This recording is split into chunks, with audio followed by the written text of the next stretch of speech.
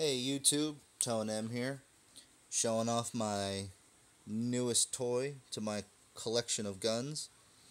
Alright, this here is the Leinad double barrel side by side 14 inch 410 45 caliber Derringer.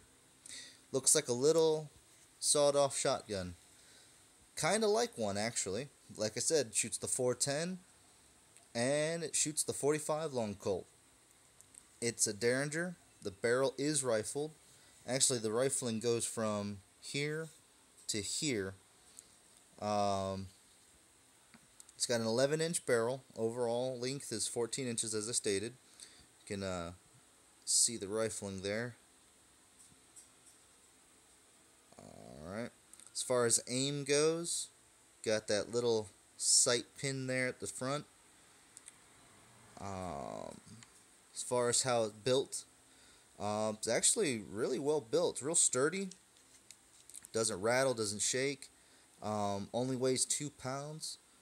A uh, good majority of the weight is where all the metal, like the steel is, is which is in this area. The handle, uh, the original barrel. When I say original, these originally come this size, three inch barrel. They added this, these barrels here just to give it that length. Um, but that's also where you get your rifling. Got yourself a nice little fore grip here. It's kind of smooth, flat. It's plastic, so synthetic. Um, I've heard these are real fun to shoot. Definitely really interesting looking. Fits in your hand pretty nice. Bad thing I've heard about it. Um, it's a it's a knuckle buster, meaning no matter how you hold it, your middle finger is gonna get its knuckle busted every time with the recoil from when it's fired.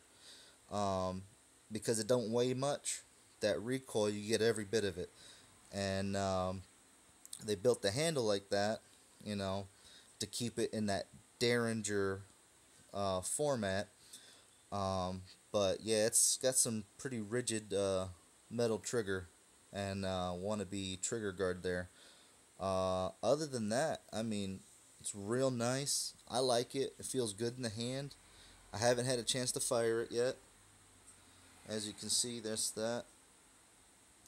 But um, I like it. Figured it'd go good with my uh, sawed off 12 gauge little thumper so felt right and just had to make sense to call this one mini thumps.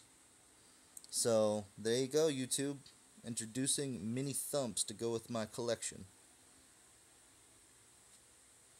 Take it easy